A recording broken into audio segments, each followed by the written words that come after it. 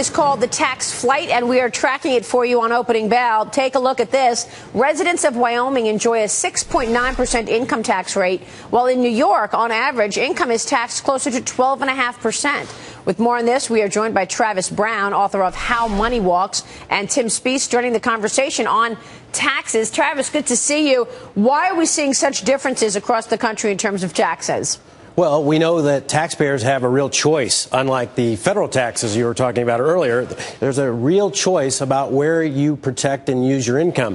For example, there are nine states across America that put no price on work, no personal income tax, and we know from, in this case, a Wallet Hub source that taxpayers prefer those destinations. So, so that's that's why you, you wrote the book, How Money Walks. I mean, the bottom line is money is mobile, and if it is not treated uh, fairly in one area or it can be treated better in another area, people will move out.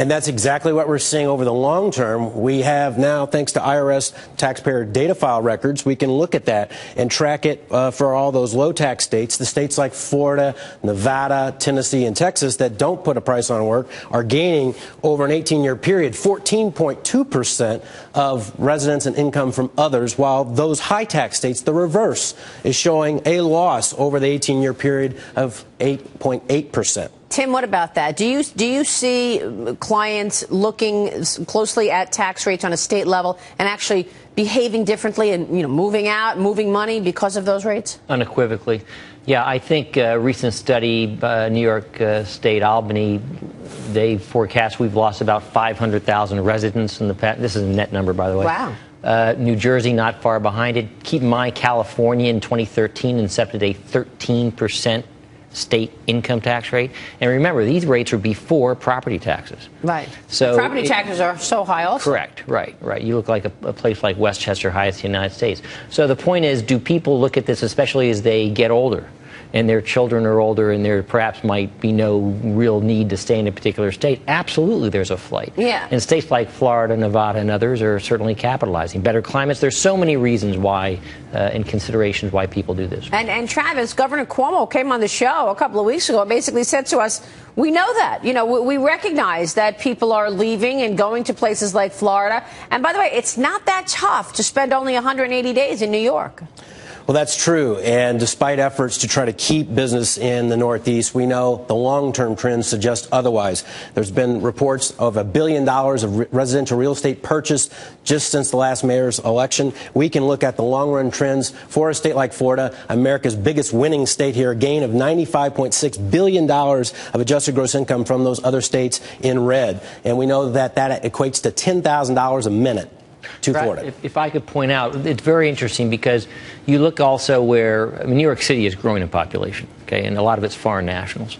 Uh, it, it, what's not counted in, in these figures, however, on the flight, the, the flows are um, immig- immigration, which means that's got to be on the table. If there were legalization prospects and immigrants uh, being here paying taxes, Hmm. Uh, you could see you could see a tremendous shift. One more reason to have immigration reform. Uh, it's it's an observation. Yeah.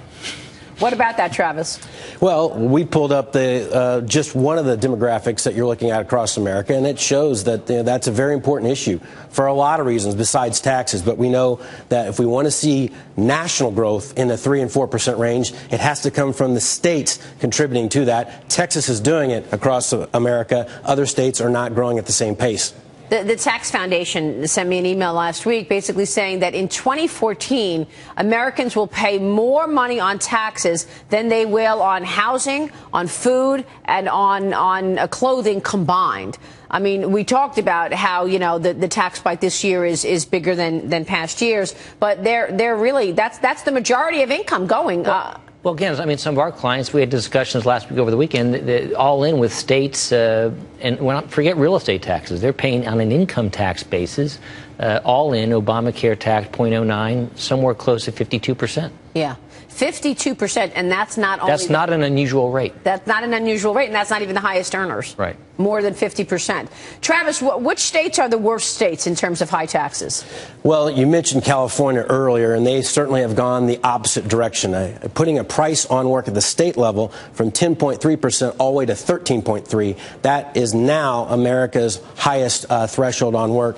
But the reverse of this, there's a lot of things changing. For example, in the energy market, we can see states like North Dakota coming thanks to oil and gas opportunities, personal income rising, l- low unemployment, the references to the digital prairie. So there's a lot that can shuffle over a fairly quick period of time, and we're seeing that, that in the patterns. Really, really great observations. Uh, Travis, thanks very much. Travis Brown, How Money Walks. Really appropriate. Tim Speiss, great to have you on the program today. you. Thank Thank you you so very much. Tim, Travis, we'll see you both soon. Coming up.